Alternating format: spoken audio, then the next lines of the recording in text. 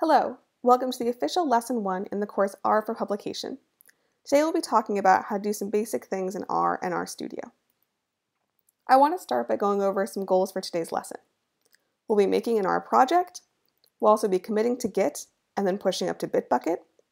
We'll get some practice reading in and manipulating data, as well as making a figure and saving it to a PDF. And finally, we're going to create an R Markdown document to summarize all the work we did today. Before we get started, I want to go over some very basic things here first. The data we'll be working with today looks something like this. What you see here is two snapshots of the data, the first and final five rows. We call this whole data set a data frame. Within a data frame, the columns are generally referred to as variables. So here, for example, group is a variable that describes data points in this data frame. And the variable group can be broken down into levels. In this case, the groups are monolingual and bilingual. This is the main variable we're working with today. To get started with the lesson, pause the video and follow the instructions below. When you're told to come back to the video again, click play to learn more about some of the code in the lesson.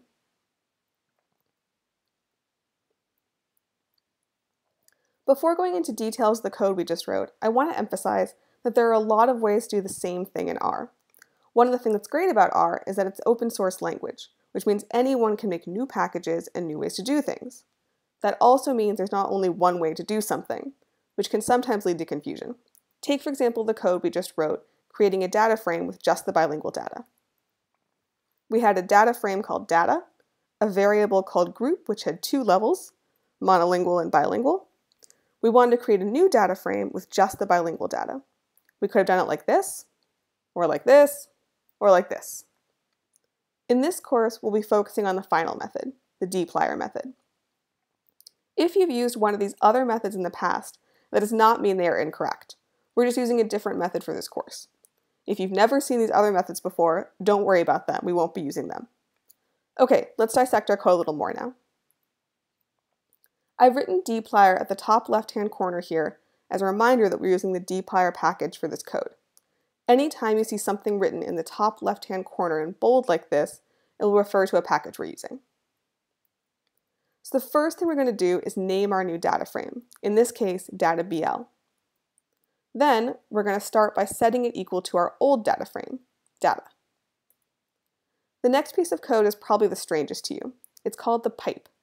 It's a way within dplyr to tell R that we're not done coding yet.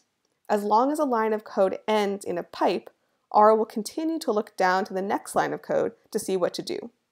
In this way, we can create layers and pass a data frame down from one line of code to the next. That second line of code begins with our verb, in this case, filter. Filter is a verb that lets you select a particular subset of your data. In this course, we'll be going over several of the verbs within dplyr. We then set the variable we're going to filter by, in this case, group. Then we say how to filter group, we want only data points where a group is equal to the level bilingual. Now there's a couple more things I want to point out about this code. You may have noticed that we use the equal sign at two points. In the first case, we're assigning a new data frame in our environment called DataBL from our old data frame, data. If you've programmed in R before, you may have also used the less than dash symbol. This is perfectly fine way, way as well. I simply prefer the single equal sign because it's one fewer character to type. The second time we use the equal sign is a marker of relationship. We're saying that the value for group must be equal to bilingual. This is similar to using less than or greater than sign if group were a continuous variable. Okay, so at the beginning, our data frame had 400 rows and 3 columns. Now, after our filter call, we have 200 rows and 3 columns, because we've dropped all the monolingual data, or half the data points. What if we wanted to further filter our data by another call though? For example, what if we only wanted reaction times less than 1100 milliseconds? To do this, let's return to our code. To add another filter call in dplyr, we simply start by adding another pipe. Remember, the pipe tells R to keep looking for more code. In this way, we can string together several different filter calls while keeping our code clean and easy to read. Next, we'll add another filter call, just like we did the first time. Again, we'll name our variable to filter by, in this case RT. And then we'll end by adding the marker relationship and the value. Since RT is a continuous variable, we use the less than sign and the number 1100 to only include reaction times less than 1100. Now, if we compare to our original data frame, we see that data BL only has 153 rows, because now we filter not only by group, but also by reaction times. The second filter call was just an exercise. If you've added it to your code, please delete it. You can pause the video and return to the lesson below to continue to the next part about making a figure. Come back when you're ready. This time, we'll go through the code for the plot you just made. Again, I made ggplot2 written in bold in the top left-hand corner as a reminder that that's the package we're using for this code. The first thing we'll do is name our plot. The use of dot plot is by no means required. I just use that as a convention. Feel free to name the plot whatever you want. Next, we're going to initialize our plot. All ggplot2 plots begin the same way, with the call ggplot. We then tell ggplot2 the data frame it should use to create the plot. In our case, this is data. We then add a call for the aesthetics of the plot, or AES. These are the basics of the plot, such as what should go on the x and y axes. We then give our x-axis variable, in our case group, and our y-axis variable, in our case RT, or reaction time. At the end of the line, we write a plus sign. This is similar to the pipe we used when writing code in dplyr. Instead of a pipe, though, it's simply a plus sign. Like in dplyr, in ggplot2 we can create layers of code to slowly build up the final product of our plot. Finally, on our second line, we specify what type of plot we're making.